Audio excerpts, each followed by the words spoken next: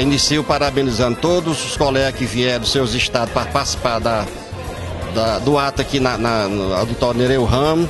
E agradecer aos parlamentares da frente mista do serviço público. E convidar todos os servidores para participar do ato do dia 18 de março, fortalecendo nossa luta em defesa do serviço público, porque o governo trata a gente como inimigo e como parasita, mas os parasitas não estão do nosso, estão lá do outro lado no sistema financeiro. Vamos juntos, estamos nessa luta para vencer e fortalecer o serviço público, porque não há Estado sem serviço público.